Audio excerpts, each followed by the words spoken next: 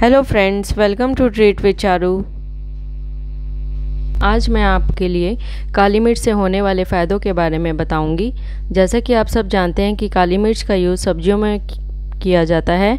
काली मिर्च मसालों में प्रमुख स्थान रखती है। काली मिर्च सेहत में भी काफ़ी फ़ायदेमंद होती है।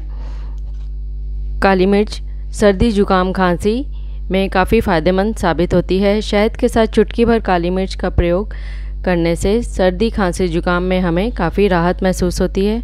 ये हमारी इम्यूनिटी को स्ट्रॉन्ग बनाती है। चुटकी भर काली मिर्च को चाय में मिलाकर आप इसे ले सकते हैं। इसकी तासीर जो है, ठंडी होती है। ये ब्लड प्रेशर को भी कंट्रोल रखती है। शरीर के किसी भी अंग में सूजन हो तो आप काली मिर्च का सेवन कर सकते हैं। काली मिर्च के सेवन से दिमाग की क्षमता को तेज किया जा सकता है। ये हमारे कोलेस्ट्रॉल को भी कंट्रोल में करती है। ब्लड शुगर लेवल को भी ये हमारे कंट्रोल में रखती है।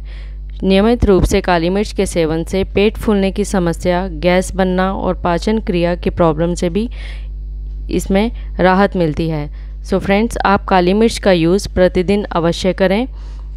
ये दांतों के दर्द में भी काफ़ी राहत प्रदान करती है। चुटकी भर नमक और चुटकी भर काली मिर्च को मिलाकर दांतों पर मलने से दर्द में काफ़ी राहत मिलती है। सो so फ्रेंड्स आप अपने डेली यूज़ में काली मिर्च को जितना हो सके आप यूज़ करें।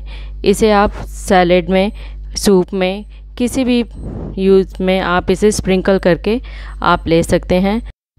आशा करती हूँ कि आज की मेरी ये वीडियो आपको काफ़ी पसंद आई होगी। अगर हाँ तो आप मेरे चैनल ट्रीट विद चारू को सब्सक्राइब और मेरी वीडियो को लाइक और शेयर अवश्य करें और बेल आइकन को दबाना ना भूलें। Thanks enjoy be safe.